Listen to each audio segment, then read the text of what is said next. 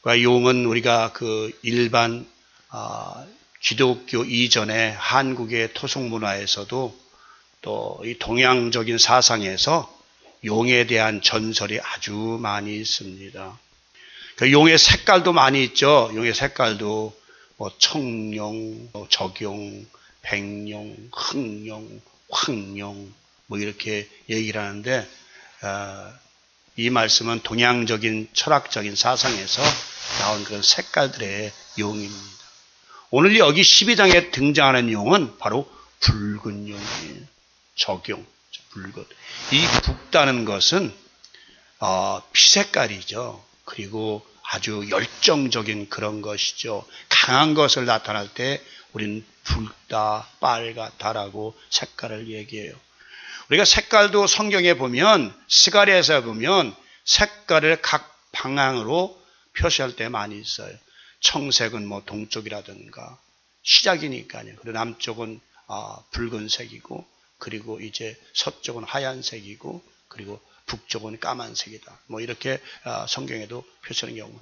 그리고 성경에는 그 이런 색깔뿐이 아니라 아, 이제 나오지 숫자도 참으로 숫자가 많이 나옵니다.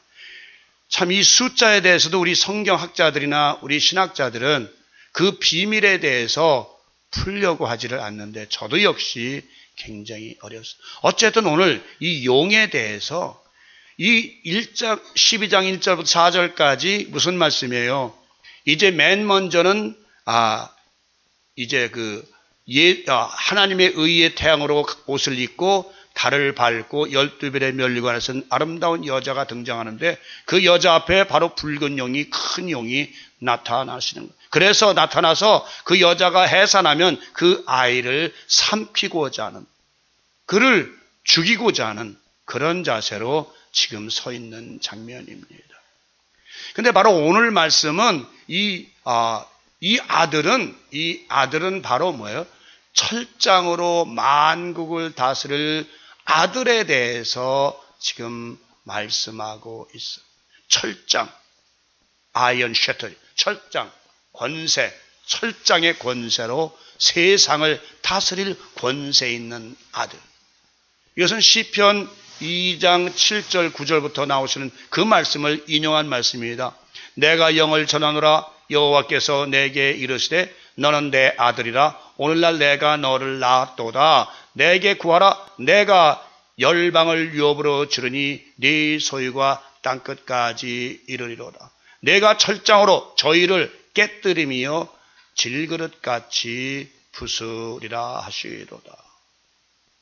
이 말씀은 주님께서 이 세상에 왕으로 임하셔서 모든 사단을 멸하시겠다는 말씀. 그래서 용이란 이 단어는 세상에서도 용, 용 그러면 왕, 가장 큰 지도자를 우린 용으로 나타내고 여러분 잘 아시다시피 세종대왕이 태어날 때에 세종대왕이 태어날 때에 그, 그 임금이 앉은 그 기둥을 아, 용상 기둥을 뭐, 어, 용이 둘둘 많은 것을 그 어, 부인이 꿈을 꿨다고 그런 얘기를 어, 전해오는 그런 말씀이 있습니다. 이와 같이 용은 바로 왕, 지도자를 얘기하는 것입니다.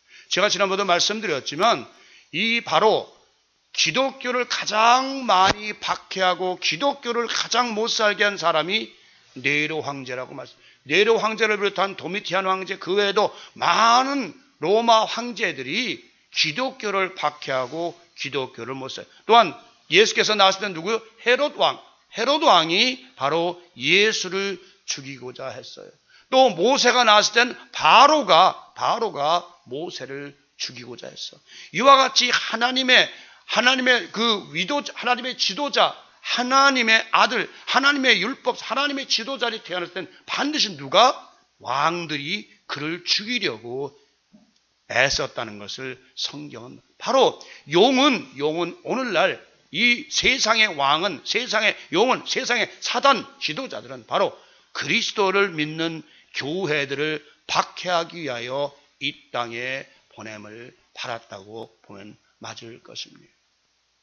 주님은 이 세상에 왕으로 오실 이것을 이사야 선지자는 아, 연. 바로 이 왕, 다시 말하면 우리 사단이 지금 그 여자 앞에서 여자가 나오면 그 아이를 삼키고자 하는데 이미 이 여자가 낳은 아이는 바로 교회, 구약교회를 통해서 탄생한 이 그리스도는 이미 온 세상에 다스릴 왕, 온 세상의 죄를 다스릴 왕으로 태어나셨다는 걸 예언하고 있어요. 이사야 9장 6절에 보니까 이는 한 아기가 우리에게 아, 낳고 한 아기를 우리에게 주신 바 되었는데 그 어깨에는 정사를 메고 정사는 권세죠. 그 이름은 기묘자라 wonderful이죠. 그 다음에 모사라 Wonderful Counselor Wonderful Counselor 그러니까 위대한 아주 어, 조력자 counselor는 전능하신 하나님이라 영존하시는 아버지라 평강의 왕이라 할 것입니다.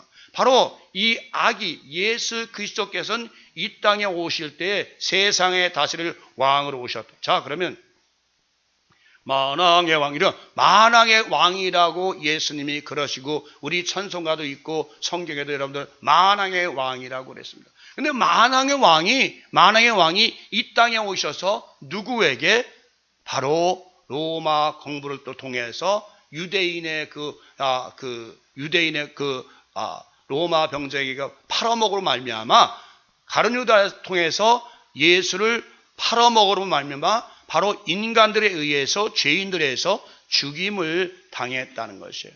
이건 만왕의 왕이 될 수가 없습니다. 죽임을 당했기 때문에 만왕의 왕은 절대로 죽임을 당해서는 안 됩니다. 그런데 지난번도 말씀드렸지만 만왕의 왕이란 의미는 바로 예수께서 죽은, 지, 죽은 자 가운데서 3일 만에 부활하신 최초의 최초의 사람의 모습을 가진 하나님의 아들이었다는 이 사실입니다. 이것이 바로 만왕의 왕이라는 의미가 됩니다. 만왕의 왕이란 모든 사람을 지도할 수 있고 모든 사람 다스릴 수 있는 것은 바로 죽음으로부터 부활한 자만이 죽음으로부터 다시 태어난 자만이 죽음으로부터 다시 생명을 얻고 다시 태어난 자만이 만왕의 왕이 될 수가 있어요. 만왕의 왕이라는 것은 예배에서 말씀하신 것처럼 땅 아래나 땅 위에나 하늘이나 하늘에 모든 것이 모든 피조물들이 그 발 앞에 엎드리는 그런 상황입니다. 그것은 바로 사망을 이기시고 음부의 권세를 깨뜨리신 만왕의 왕 다시 말해 깨뜨리시고 부활하심으로 말미암아 바로 만왕의 왕이라는 칭호를 받게 된 것이라는 것입니다. 그 만왕의 왕. 여기서 이제 만왕의 왕이란 또 더 설명드리면 죄를 다스리 여러분들도 왕이라 여러분도 뭐예요? 베드로 어, 왕 같은 제사장이요 나라요 백성이라 왕 같은 제사장이라는 뭐예요? 여러분들도 여러분의 다가오는 모든 죄를 다스릴 수 있는 죄를 이길 수 있는 죄를 물리칠 수 있는 그런 권세자들이 됐을 때 바로 왕 같은 제사 제사장은 뭐예요? 죄를 다스리고 죄를 용서하는 자를 제사장이라 하잖아요. 여러분들 삶을 통해서 여러분들이 왕 같은 제사장이 되려면 여러분 자신도 죄를 이길 수 있는 물리칠 수 있는 유혹을 이길 수 있는 그런 삶을 살아야 된다는 것이에요. 하와 같이 아담 같이 하나님 말씀보다도 먼저 유혹을 마귀의 유혹을 이기지 못한다면 왕이 될 수가 없고 왕 같은 제사장이 될 수가 없는 것이에요. 죄를 다스리는 것이 바로 왕 같은 제사. 그런데 사실 여러분이나 저나 유혹이 오는 것을 뿌리치기라는 것은 심히 어렵습니다. 참으로 오늘날은 여러 번 말씀드렸지만 컴퓨터의 그 유혹, 그 세상의 유혹, 얼마나 많은 유혹들이 우리 젊은 이들을, 우리 이세들을 끌어당기는지 알 수가 없습니다.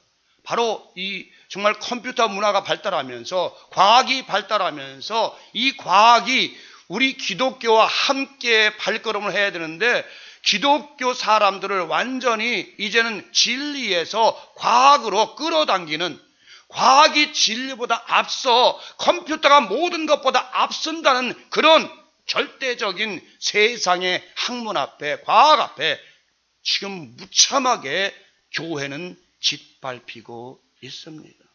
오늘날 사실 보면 옛날에는 성경도 각자 이렇게 어, 옆구리에다 끼고 다니면서 성경을 읽고 가져다니고 얼마나 성경이 소중했습니까?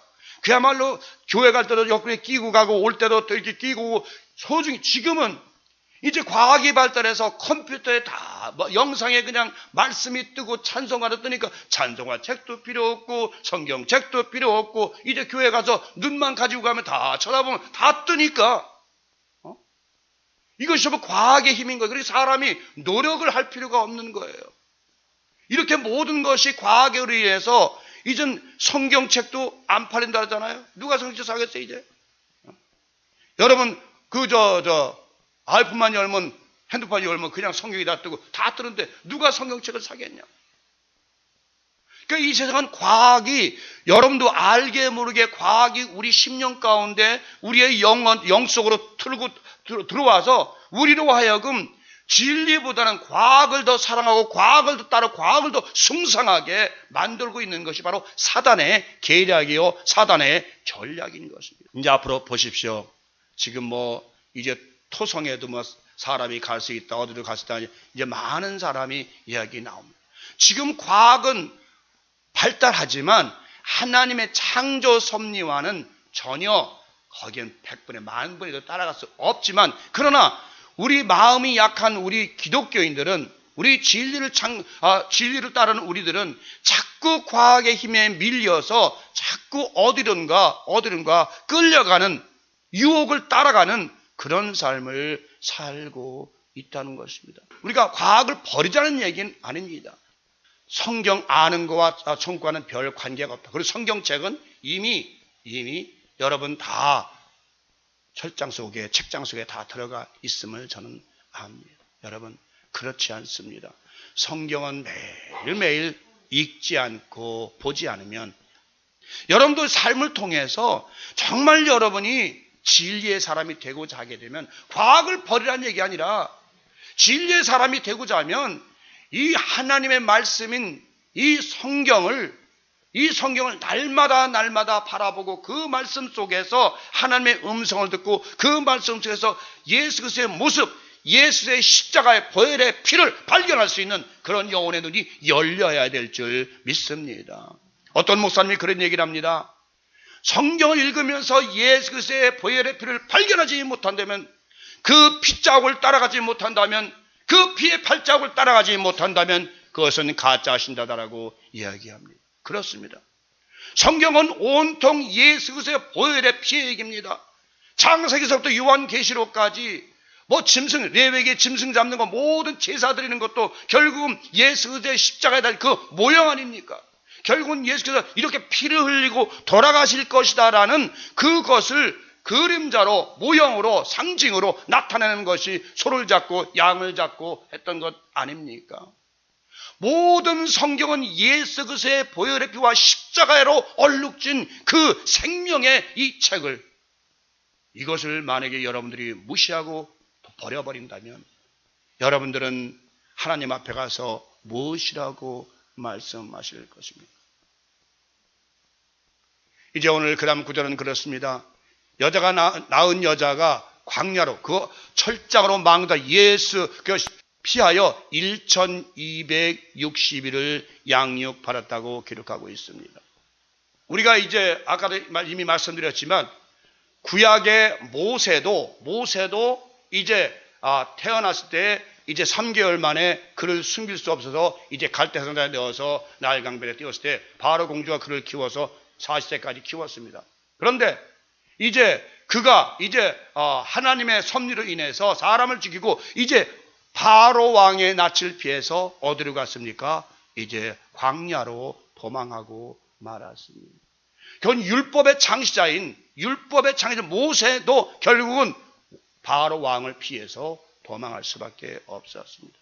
또한 예수 그리스도도 할아버지 예수 그리스도 결국은 나은 지 얼마 안 돼서 헤롯 왕이 동방박사를 시켜서 내게 알리라 했을 때 그게 안 알렸을 때두 살이야 모든 사람을 죽였습니다. 그때 예수 그리스도는 마리아와 함께 애굽으로 피신했습니다. 바로 이것이 구약이나 신약이나 바로 이제 구약으로부터 그 예언대로 예수 씨가 탄생하니까 헤로드 왕이 그를 죽이려고 구약의 장사도 율법의 장 모세도 결국 바로가 죽이려고 했습니다. 그럴 때에 아들을 낳은 여자, 다시 말하면 교회, 구약교회나 신약교회, 이 교회가 1260일을 피했다로 되어 있습니다. 1260일. 이것은 42달과 한때, 둘때, 반때와 일치하는 숫자라고들 말들을 합니다. 42달도 계산해보면 30일 계산하면 3, 42, 36, 1260일이에요. 또 한 때, 두 때, 반 때를 보면 3년 반이니까 그것도 따지고 보면 1260일이에요. 여기도 또 1260일이에요. 근데 저는 여러분들이 그, 어, 이 숫자에 대해서 굉장히 민감합니다. 뭐 3년 반, 전 3년 반, 후 3년 반을 계산하면서 뭐 많은 사람들이 그, 아, 이제 그걸 계산하고 따지고 그러는데 저는 그거를 별로 염두에 두질 않습니다. 오늘날 우리가 성경에 나온 숫자들을 다 여러분 그 비밀을, 비밀을 풀라고 들면 여러분 못 풉니다. 이것을 풀 수가 없어요. 많은 사람들이 그냥 어, 전 4년만 후 4년만 계산해서 그냥 대환란이 전 4년, 전 4년반은 적지만 후 4년반 더그 환란이 돼야 할 것이다라고 예언을 하고 그렇게 말씀을 하고 있지만 우리가 전 3년 반이 그러면 어떻게 계산할 것입니까? 예수 그리스도를 믿음으로 말미암아 그만 그동안 얼마나 많은 환란이 지나갔습니까? 여러분들이 지난번에 말씀드렸지만 AD 67년부터 70년 반, 3년 반 동안 어떻게 됐습니까? 예루살렘 성전이 포화, 포로 돼서 완전히 3년 반 동안 이 몇백만이 그 성전에서 죽어나가는 그런 끔찍한 전무후무한 창세 이후로 그런 끔찍한 일이 없는 그런 사건이 3년 반 동안 벌어졌습니다. 그렇죠. 여러분 이건 역사적으로 아는 사실이니까요. 그러면 예수 그리스도 이 땅에 오셔서 3년 반 동안 사역을 하셨다고 되어 있습니다. 우리가 이 교회가 탄생함으로 말미암아 예수 그리스도 이 땅에 오실 때 달도 부활하시고 교회가 탄생은 했지만 그 교회들이 얼마 많은 핍박과 박해를 받으면서 살았는지 알 수가 없습니다. 결국 우리가 AD 314년에 결국 콘스타트 황제가 비로소 종교 기독교의 자유를 주고 기독교를 로마 국교로 만들기 전까지는 그야말로 기독교는 박해와 핍박과 환란 속에서 살 수밖에 없었다는 것이 역사적으로 증명되는 사실이지 않습니까? 또는 구약 시대에 또한 알렉산더 대왕이 죽고 이제 그 시랍의 네 왕들일 때 에피파네스 안티쿠스 에피파네스가 어떻게 했습니까? 구약의 완전 예루살렘 성전을 몰사시고 3년 반 동안 부서뜨리고 거기에 그 사람 제일 싫어하는 돼지고기로 제사를 드리라고 하는 율법을 다 폐지해버리고 다 없애버리는 그런 행위를 하지 않았습니까? 성경을 통해서 3년 반이라는 숫자는 엄청난 많은 횟수가 지나가 버렸습니다. 그런데도 아직도 신학자들은 전 3년 반, 후 3년 반을 아직도 기다리고 있어요. 저는 그렇게 생각합니다. 전 3년, 후 4년 반또 옵니다. 기독교의 환란은 계속해서 올 수밖에 없습니다. 그러나 이미 전에도 이전 4년, 후 4년 반은 지나가고 또 지나갔습니다. 많이 지나갔어요. 또 앞으로도, 또 앞으로도 오게 되어 있습니다. 우리가 기독교는요, 우리가 이 기독교는 유난하게, 유난하게 핍박의 종교요, 환란의 종교인 것입니다. 불교나 신도교나 뭐 다른 종교들은 그런 게 없어요. 근데 기독교는 유난하게, 유난하게 많은 적들이, 많은 적그리스도들이, 많은 대적들이 죽이려고 달려들고 있습니다. 자, 앞으로도 또한 어떤 그러면 핍박이 오겠습니까? 오늘날 미국을 보십시다. 자, 미국은 이제 교회들이 다 문 닫았습니다. 다 문 닫고 이젠 겨우 교회 가보면 노인들을 몇 번만 앉아서 예배 드리고 있습니다. 젊은이들은 이제 교회를 안 갑니다. 한국도 마찬가지고 어디도 마찬가지예요. 이제는 교회들이 텅텅 비게 되어 있다고요. 그동안 많은 사람들은 교회 건물의 치중에서 건물을 크게 지고 멋있게 지고 셌었습니다. 그것도 역시 사탄이 하라고 시킨 것입니다. 야, 돈 벌어서 돈 갖다 대서 야, 성전 져. 크게 져. 근데 실제로 성전 크게 져서 그 성전이 교회가 오늘날까지 유럽은 다 텅텅 비어 있고 쓸데없는 다 그냥 다른 것으로 사용되지 않습니까? 오늘날 미국도 마찬가지예요. 오바마 대통령이 이제 교회, 교회 당해가지고 다 안 쓰니까 자, 그거를 이제 정부 차원에서 사용하도록 만들지 않습니까? 오늘날 여러분 성도들이 그렇게 11조 내고 감사금 내고 건축금 내서 진 교회들이 이제는 텅텅 비게 되었다는 것입니다. 그렇다면 앞으로 교회들은 어떤 모습으로 변해야 됩니까? 바로 예수님이 말씀하셨어요. 오늘 이사장 제가 읽었지만 예루살렘 성전을 바라보면서 이 성전에 돌 위에 돌 하나도 남지 않고 다 무너뜨리라. 그래서 예수님 요한부 2장 19절에서 이젠 내가 성전이다. 사도 바울도 이젠 너희가 성전이다. 우리 자신, 여러분 자신이 이제는 각자가 성전이 되어서 살아야지 큰 교회, 건물 교회 찾지 마세요. 어리석은 짓입니다. 오늘날 교회들이 얼마나 추태가 심한지 아십니까? 교회는요, 사도 바울은 어떻게 했습니까? 여러분 잘 알아, 성경 읽어 알지만. 사도 바울은 이 교회에서 헌금 거다 가난한 교회 주고, 또 이게 부유한 교회 가난한 교회 주고, 또 이쪽이 가난해지면 이쪽에서도 거다 이쪽 주고, 교회에서 사도 바울은 여기저기 헌금 걷어서 가난한 교회를 나눠주고 그랬어요. 오늘날은 어떻습니까? 큰 교회에서 가난, 작은 교회 달라. 아니, 너희는 우리 교회 들어와. 하쳐.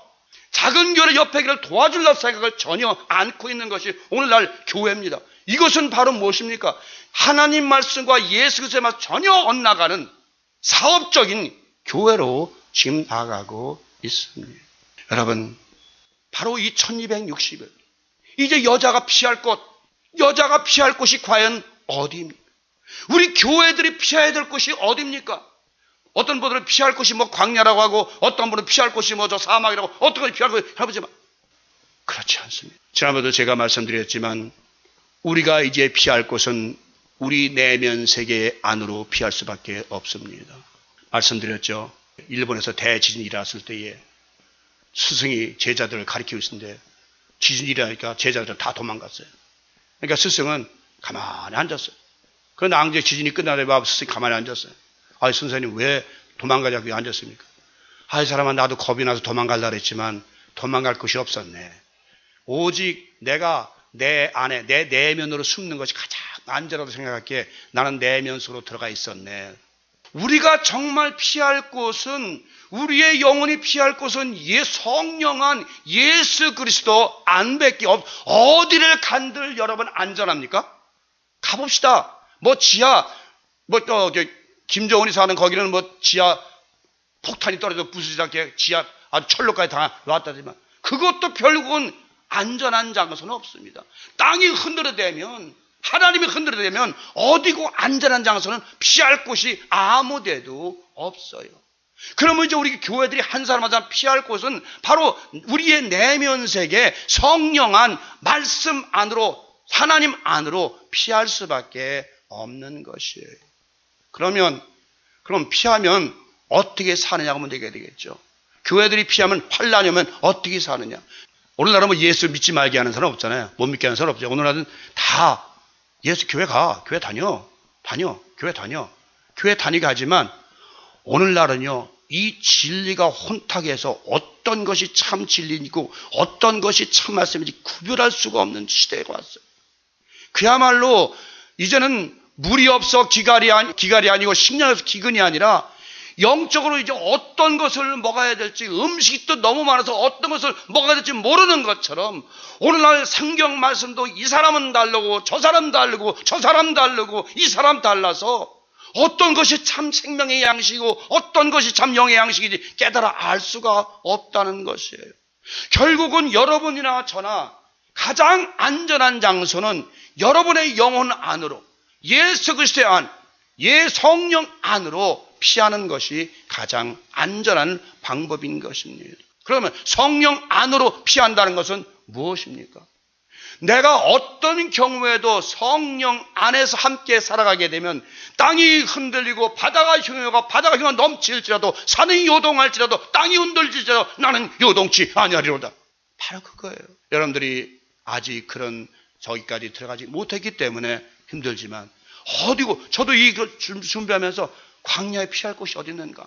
어디 따로 있는가?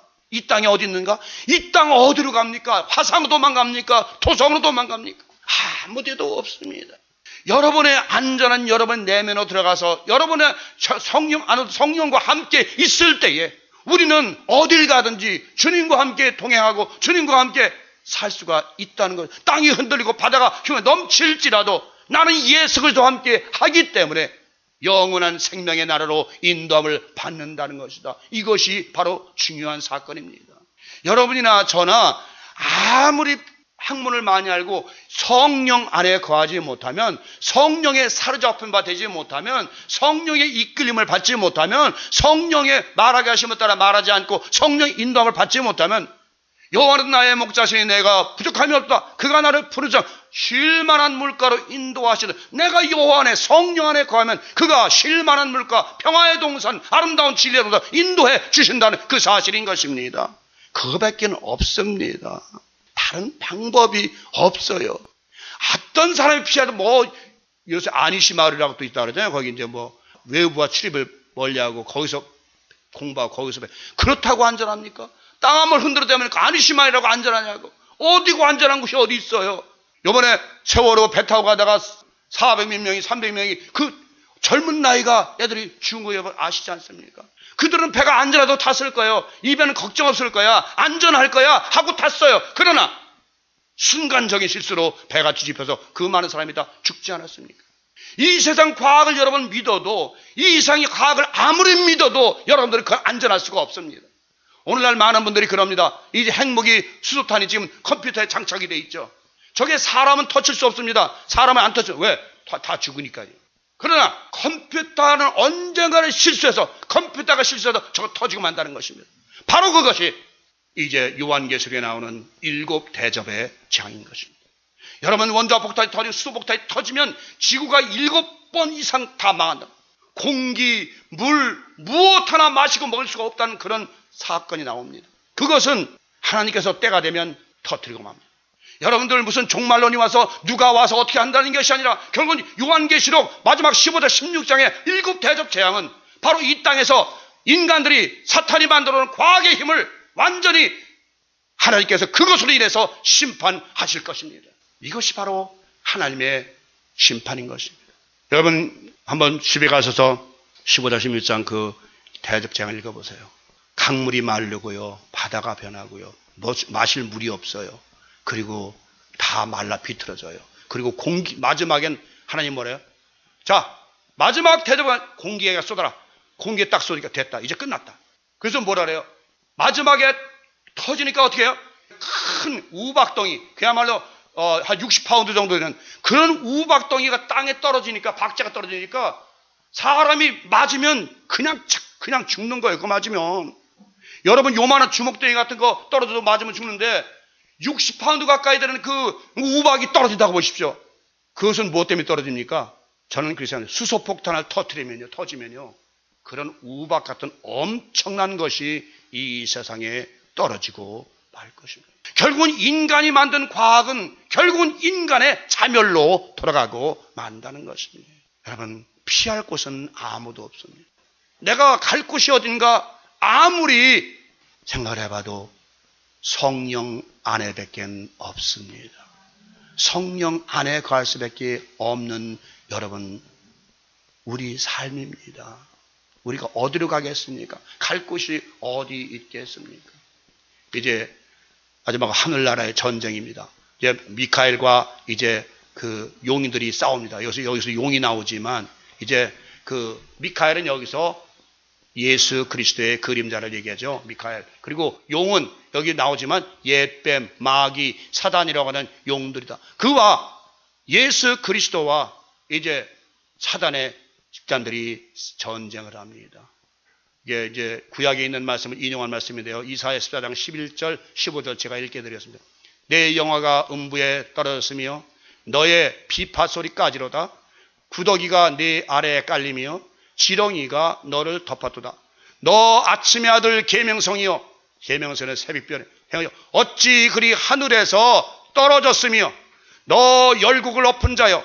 어찌 그리 땅에 찍혔는고.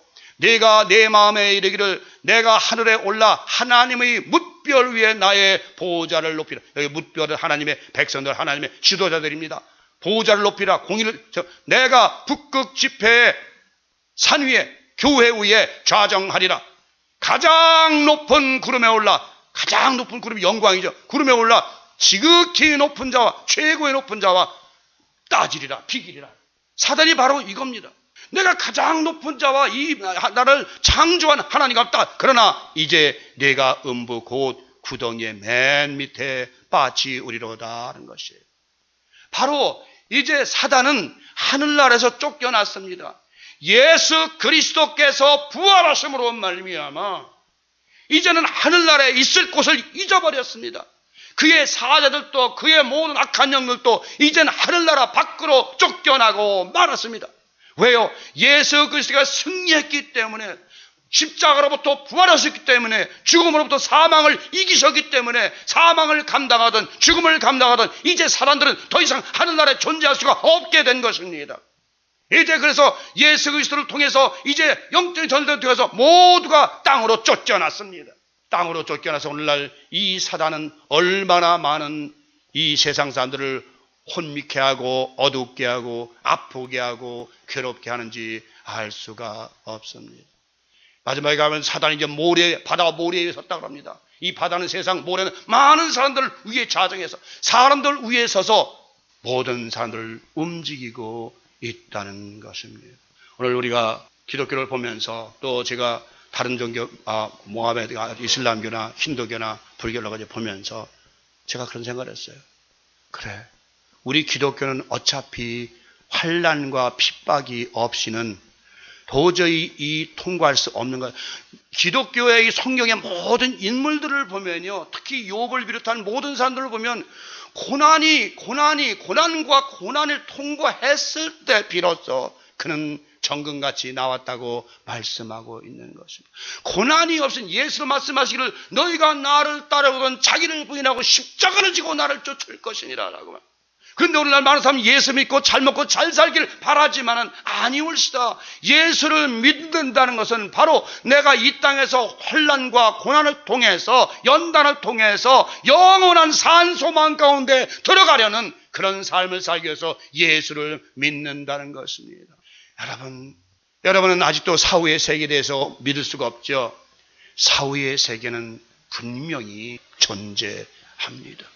그러기 때문에 그러기 때문에 우리는 이 땅에서의 고난과 환란을 그 옛날 열두 사도들보다 많은 주의 믿음의 선인들이 왜 염소가집을 뒤집어 쓰고 땅을 유리하며 맨날 토굴에서 숨어 살며 성경을 써도 바닷가에 가서 모래볼판에 가서 토굴에 숨어서 성경을 말씀을 썼습니까? 왜 그랬습니까? 그는 늘 끝까지 산 소망이 있기에 그렇게 할 수밖에 없었습니다. 한 여성이 이제 애기 엄마가 있었습니다. 그 실제 싫어합니다. 애기가 이제 젖 먹는 아이입니다. 로마 네로 황제 때 이제 예수를 믿는다는 그런 죄목으로 형무소에 갇혔습니다.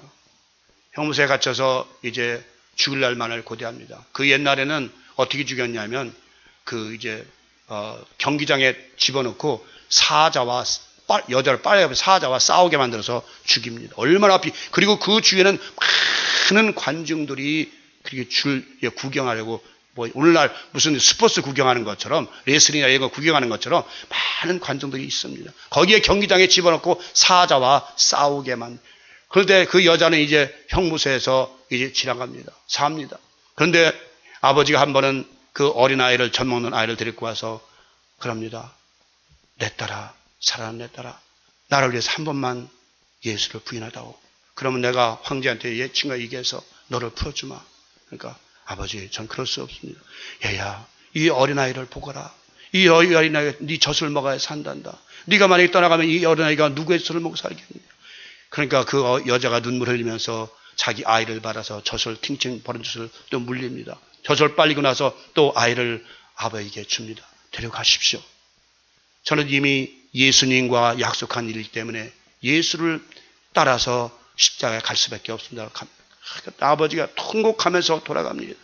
그 다음에 이제 또다시 한번 아버지가 마지막으로 아, 사랑한다라. 한 번만 나를 좀 봐서 한 번만 부인해다오. 나의 구주는 네로 황제라고 한 번만 얘기해다오.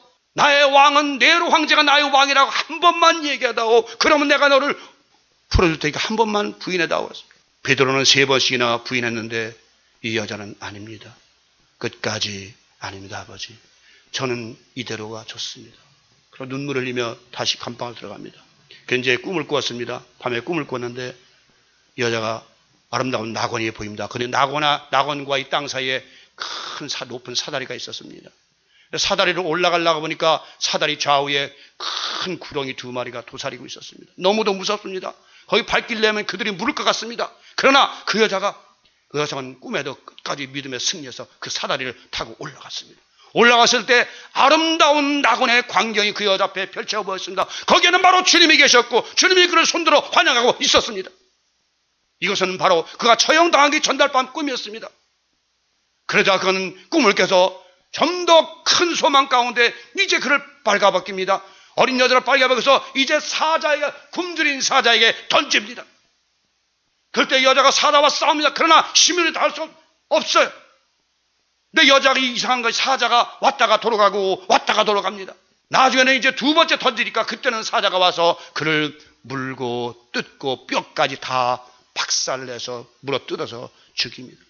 그러나 끝까지 그는 주님을 부인 안 하고 끝까지 주님은 나의 왕이요 나의 구속주라고 그렇게 부르짖으면서 돌아갔습니다.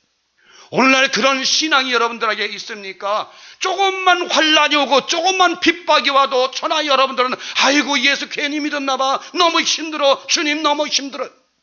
그 여성에게는 사랑하는 아기가 있었습니다. 여러분에게 만약에 여러분 여성분에게 젖 먹는 아이가 있을 때에 아기를 버리고 주님을 따를 수 있겠냐 말입니까? 여러분들에게 만 사랑하는 아들이 있는데 그 아들을 버리고 주님을 따라갈 수 있습니까? 예수님은 오늘 우리에게 그런 신앙, 그런 십자가를 지고 자기 자신을 부인하고 자기 당신을 따르라고 말씀하시는 것입니다. 그런데도 불구하고 기독교가 복의 종교요, 축복의 종교요, 무슨 종교라고 얘기합니까? 어떤 분이 기독교를 믿으면 잘 먹고 잘 산다고 합니까? 기독교는 이 세상에서 삶을 위한 것이 아니라 내세 삶을 위한 종교란 것을 분명히 아십시오. 기독교는 우리가 정말 다음 세상에서 정말 새로운 모습으로 영광스러운 모습으로 신령한 모습으로 좀 더 능력 있는 모습으로 부활될 것을 가르쳐주는 말씀인 것입니다. 그 꿈이 있고 그 소망이 있기에 우리는 모든 환란과 핍박을 이길 수가 있는 것입니다. 여러분 오늘도 많은 세상의 사탄들은 마귀들은 우리를 유혹하고 있습니다. 이 세상에 이제 사탄은요 많은 사람들에게 이제 그 능력을 줍니다. 뭐 어떤 저는 이적을 하는 사람도 많죠. 어제 어떤 사람이 그 김영욱이라는 사람 쓴 책에 보니까 이제 정신과 의사인데서 최면수를 이용해서 이제 그 사람이 아, 과거에 전생이 어디서 살았다 하고 나왔다. 그래서 우리는 뭐 전생이 있고 후생이 뭐 있고 뭐 그런 얘기하면 최면수를 최면수를 통해서 뭘 했다. 또 어떤 사람들은 아, 과학 뭐 심령수를 통해서 하늘에서 뭐 불이 내리게 할 수 있다. 또 어떤 사람들은 뭐 병을 고칠 수 있다. 또 어떤 사람은 여러 가지 할 수 있다. 하고 물론 성령을 받은 사람도 그 모든 걸살수 있습니다. 그러나 성령을 받은 사람은요 모든 것이 완전합니다. 여러분 예수님께서 이 땅에 오셔서 행하신 표적과 열두 사들 행한 표적, 사도벌이 한 모든 표적들은 완전했습니다. 그렇게 잠시 났다가 잠시 또 그렇게 어떤 건 고치고 어떤 건 못 고치는 그런 병이 없었다는 것입니다. 죽은 자까지도 살리신 자들입니다. 예수도 죽은 자를 살렸고 베드로도 죽은 자를 살렸고 사도 바울도 죽은 자를 살렸고 엘리야도 죽은 자를 살렸고 엘리사도 죽은 자를 살렸습니다. 이것이 바로 성령께서 하시는 이고 하나님께서 하시는 일입니다. 바로 이것이 바로 부활의 신앙인 것입니다. 바로 하나님께서는 죽은 자를 살렸다는 것은 우리 모두가 죽지만 우린 다시 예수와 함께 살아나서 하나님 예수와 함께 영원한 낙원에 들어가서 예수와 함께 살 것이라는 부활의 신앙인 것입니다. 성경에서 많은 사람들이 뭐 독자를 살렸고 세서 나사를 살렸다니까 아 표적이야 그것이 아니라 바로 하나님의 능력은 여러분이나 제가 죽어도 우린 죽는 것이 아니요 우리를 다시 살릴 수 있다는 그런 말씀인 것입니다. 여러분, 이 부활의 소망, 이 부활의 증거 믿으십시오. 여러분, 정말 우리에게는 이 소망이 있기에, 이 꿈이 있기에 전 살아갈 수 있습니다. 만약에 저에게 이런 꿈과 소망이 없다면요. 저는 정말 살 맛이 없을 것 같아요. 자, 여러분, 이 세상에 말이죠. 이 세상에 수많은 사람들이 있어요. 어떤 사람은 나면서도 부자가 있고요. 어떤 사람은 명예, 뭐, 큰 자 가지고 있고, 어떤 사람은 평생 애를 쓰고 애를 써도 가난하게 살 가난하게 견디지 못하고 있는 사람이 있어요. 어떤 사람은 낳자마자 병들어 죽는 사람이 있어요. 어떤 사람은 여보 세월호처럼 18살 꽃도 피어져부터 배에서 탔다가 물에 빠져는 사람이 있어요. 어떤 사람은 비행기 타다가 떨어져 죽는 사람이 있어요. 어떤 사람은 등산 죽는 사람이 어떤 사람은 지진에서 죽는 사람이 있어요. 많은 사람들이 여러 가지 환경과 여러 가지 고통과 여러 환란을 통해서 변화됩니다. 또 어떤 사람은 시편의 73편에 말씀하신 것처럼 부자는요, 부자는 악인은요, 죽을 때도 강건한 모습으로 죽고 많은 사람들은 그들을 따른다고 되어 있어요. 왜 그럴까요? 그들은 이미 이 세상에서 상을 받았습니다. 바로 부자들, 바로 명예 왕창한 자들, 이 땅에서 모든 잘 먹고 잘 사는 자들은 이미 상을 주님께서 받았다고 되어 있습니다. 너의 상은 없다 하늘에 너의 상은 이 땅에서 다 받았다고 되어 분명히 성경은 말씀하고 있습니다. 그런데도 많은 사람들은 아 부자도 천국 갈 수 있다. 부자가 자기 재물을 흐트러서 정말 가난한 자를 나눠주고 불쌍한 자를 나눠주고 나눠줬을 때는 이 땅에서 재물의 청기로서 직분을 다했지만 부자들은 어디 그렇습니까? 자기만 먹고 자기만 잘 먹고 살살자고 교회마저도 자기 교회만 몸만 불리라고 자기 교회만 커지라고 하는 우리는 이런 시점입니다. 그러면서 이제 여러분들 분명한 것은 이 땅에서 상을 받은 사람들은 다음 세상에서 상이 없다는 것입니다. 저는 분명히 말씀드립니다. 만약에 예수님께서 이 땅에서도 상을 잔뜩 받고 다음 세상 상을 받다면 얼마나 구, 불공평한 하나님이십니까? 하나님은 공의 하나님이십니다. 여러분 이 땅에서 핍박을 받는다고 걱정하지 마십시오. 이 땅에서 환란을 좀 받는다고 두려워하지 마십시오. 이 땅에서 힘들고 어렵다고 두려워하지 마십시오. 여러분에게 다음 세상 아름다운 생, 영원한 생, 영원한 생명으로 멸류관을 받으실 것입니다. 그 꿈과 그 소망을 가지고 끝까지 예수 그리스도 안에서 믿음을 지키는 신앙을 지키는 여러분 되시길 성부와 성자 성령 이름으로 간절히 간절히 축원을 드립니다.